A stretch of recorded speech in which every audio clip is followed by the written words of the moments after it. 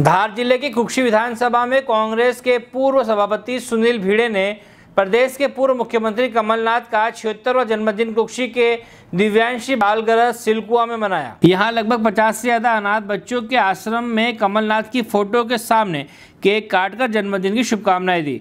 पूर्व सभापति सुनील भिड़े क्षेत्र के सामाजिक गतिविधियों में अपना सहयोग क्षेत्र में देते रहते हैं। जिसके चलते आज भी उन्होंने प्रदेश के पूर्व मुख्यमंत्री कमलनाथ के जन्मदिन के अवसर पर अनाथ बच्चों के साथ जन्मदिन मनाकर बता दिया कि कांग्रेस किस प्रकार आज भी हर गरीब और अनाथ को अपना मानकर साथ लेकर हर सुख दुख में सहयोग करती है। अनाथ आश्रम में सही बच्चों को पेट भर भोजन करवाया गया। बच्चों में खुशी का माहौल देखा गया और आज के स्टाफ में भी खुशी नज़र आई।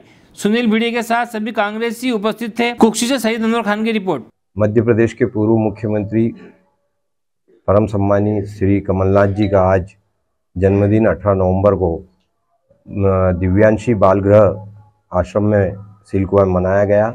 सभी अनाथ बच्चों के बीच में माननीय कमलनाथ जी का जन्मदिन केक काटकर मनाया गया और सभी बच्चों ने लंबी उम्र की माननीय श्री कमलनाथ जी को दुआएँ दी और साथ ही सभी मेरे वरिष्ठ जनों के साथ में इन बच्चों को कमलनाथ जी के जन्मदिन के उपलक्ष्य में, जो कि छिहत्तरवा जन्मदिन है इन्हें भोजन भी यहाँ पर कराया गया है।